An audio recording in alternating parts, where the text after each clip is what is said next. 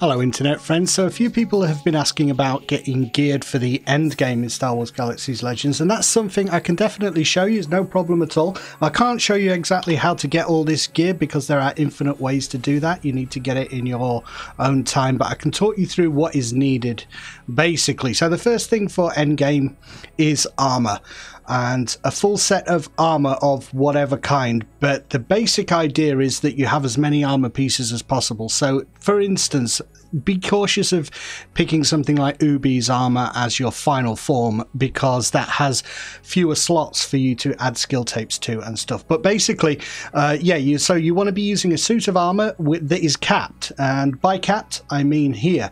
Look at all these resists here. This is unlayered armor, so everything is 6000. That basically means that the armor smith has used all of the points available in the creation of the armor, and this is a very straightforward one.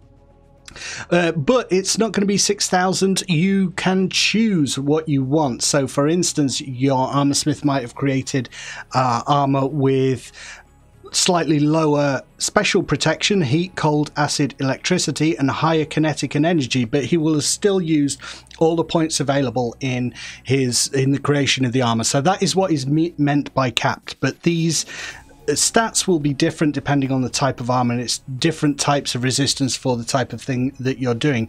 For information purposes, Primus armor is something that is valued and you'll see that on the bazaar.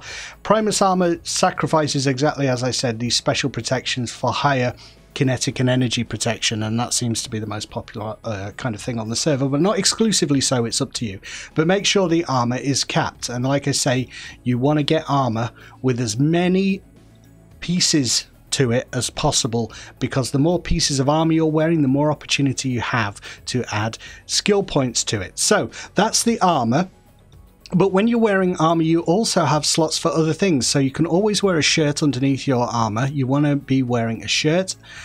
Uh, I'll talk about skill tapes in a second, but let's look at what else Grist has got here to add to his. Well, I mean, pretty much his armor is covering everything. The only additional thing is the shirt, and then we get on to jewelry. I'll talk about jewelry in a moment. Quick pickup I forgot about the backpack. Grist is wearing a backpack there with some stat boosts as well. I think backpacks and bandoliers you trade between. You can't wear you wear one or the other, but you can add a skill tape to a, uh, a bandolier, or you can have a backpack with some skill mods as well. But it might be that you have other slots available and uh, you would use those with uh, so if you've got clothes underneath your armor make sure those have skill attachments and stuff as well. That being said i might as well talk about skill attachments now. As you can see on my shirt i have my exotic attachments and you want those to be class specific. So for this medic critical hit reduction heal action and healing potency is what i've decided and you can do that on your breastplate you want the exotics on there as well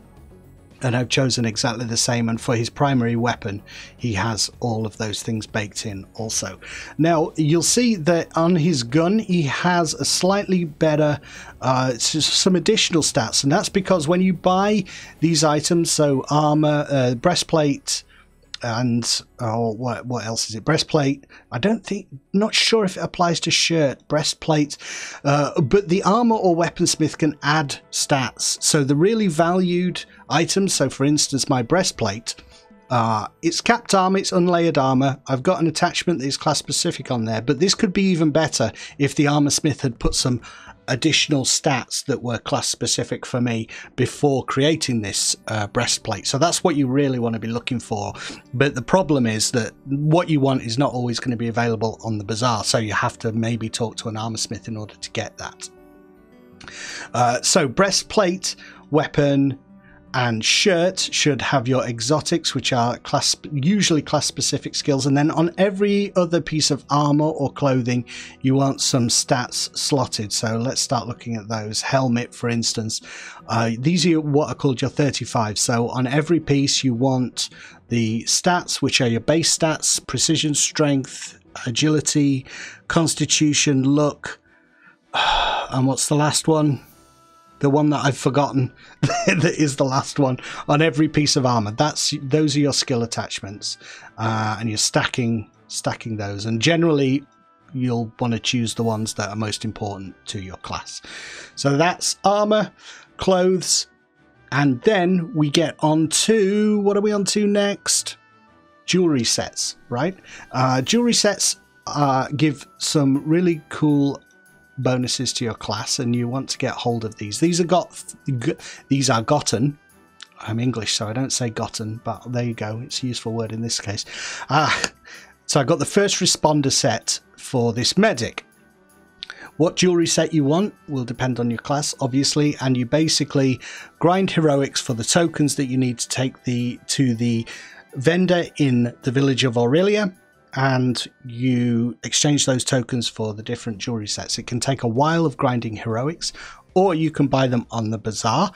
On Legends, they generally come up over time. You just need to keep checking and uh, you can get those. Bear in mind that if you do buy them from the bazaar, then you're not going to get the additional, there's some additional stats that you get as a reward for running the heroic. So if you really want to get every little inch uh, percentage of your min maxer, then you want to actually grind heroics. You're, you're missing something if you just do uh, buy them from the bazaar, but that doesn't matter to me, that little percentage. I am not bothered about that at all.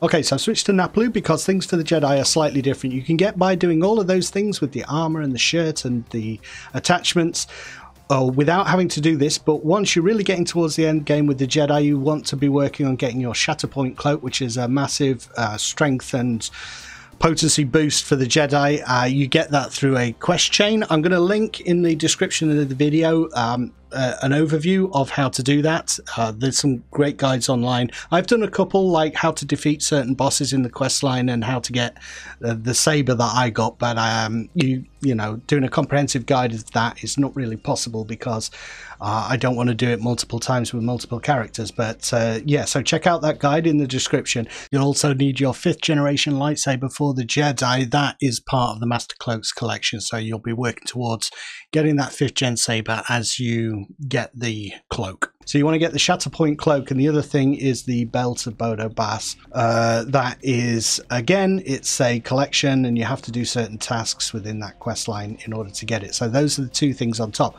Once you are wearing those, then you don't really need a lot of armor with the Jedi. The cloak and the belt take care of that, but you still want to be wearing any clothes you can underneath as you can see, I've got agility, constitution on strength on my gloves, on my slacks, on my shirt, which are all underneath. Uh, the, I've got a bandolier on, you know, mess around with that, see if you can wear a bandolier because if you can, you can add another uh, skill attachment, another 35, and then your jewelry attachment, exactly the same for whatever class of Jedi you are. All right, so that's for Jedi. Then there are buffs to consider. Uh, not don't overlook buffs. You, you want high, uh, good, really good ones. And uh, I've got some veggie parsing here, agility. But the, the, stuff that's really good to be getting are the uh, certain quest rewards. So, for instance, I'll show you some of these. There are many in the game, but uh, here are some key ones. The Mustafarian injector is uh, is a good one to get and that's a quest on Mustafar, as you might expect. But this is basically advanced protection, and it gives you uh, an extra strength, 100 points of strength and precision, and that is remarkable in that there's never a downtime on it. That's basically a permanent boost. You can always have that running. So once you've got that, you've got a permanent buff, basically. Shard of Retaliation for one of the main quests on Mustafar Sith Holocron is a nice one. There are all kinds of things. So research all these different kinds of buffs. There will be ones I haven't got. People will put them in the comments. Ones to target, but they're doing the Mustafar quest is a good way to get those buffs and whatnot. There are also Galactic Civil War buffs, uh, which are good for PvP. If you're into PvP, you need to work up your ranks, and on the higher ranks, you can get those Galactic Civil War buffs. And finally, power-ups. Always have power-ups running. I'll show you what I've got at the moment. Uh, we've got these ones going, which add to my... I've got some that give Glancing Blow, which is good for a tank and I have some that just boost my basic agility. Play around with different power-ups. Those can go on your uh, shirt, breastplate, and in this case, in the case of the Jedi, it gets applied to the robe and uh, your weapon as well. Or Jedi's lightsaber can have those buffs, no problem. And uh, that's basically it. So I hope that's helped you an overview of what you need to be considered ready for the end game in Star Wars Galaxies. At this point, I did wanted to pimp out some stuff on my channel because I'm approaching, I think I might be nearly at like 100 videos on Star Wars Galaxies and Star Wars Galaxies Legends at this stage, and I know it can be difficult to sort through all of those. I've tried to make it as straightforward as possible on the channel, but the really important playlist I consider to be the most important with regards to Galaxies are the tutorials that are in that Star Wars Galaxies tutorials playlist. So before you ask a question, please check out that tutorials playlist. It's on the front page. I've tried to make it as obvious as possible. It's the second thing listed after most recent uploads is the tutorials playlist. If you want to check out all the videos that I've sorted into playlists, go to playlists, uh, go to the homepage and then go to playlists of the Napyet channel and you can see all Star Wars Galaxies playlists there and see if I've covered the things that you are thinking about at the moment because I could well have done. I've been doing videos on galaxies now for coming up on two years. It might even be over two years. So uh, there are a lot of videos there. But as I say, that tutorials playlist is, in my eyes, the most important thing to do with galaxies on the channel. So check there. If you have a question, check. Just go down, check if there's anything there. And if you're a new starter, I still think that that that playlist is a great one to watch. It's because it, it ranges all over the place, but it, I, have covered so much at this stage, so it's there for you guys. I've tried to organize it as best I can, so use it, check it. Um, you know, before before you ask a question, I might have covered it. If I haven't, I'll try to pick up, you know, like I've done with this video. I don't think I've done one about endgame gear specifically, so I thought, right, okay, I can answer that question pretty quick. So I'll add this to the tutorial. So the next time someone asks, it will be in the tutorial playlist. All right, I just wanted to, I just wanted to say that because it's supposed to be a resource for people, and I, I get the feeling people are not checking it sometimes Mm, and that's why it's there. It's for you. All right, I'll uh, I'll speak to you later. Do check and, and also flipping flipping share it if you've got any new friends who are joining Legends. It's there. I'm I'm waffling to you for hours on end about Star Wars Galaxies. Watch the watch the playlist. All right, sorry. All right, guys, thanks for watching. Love you lot. Sorry I shouted at you. Bye.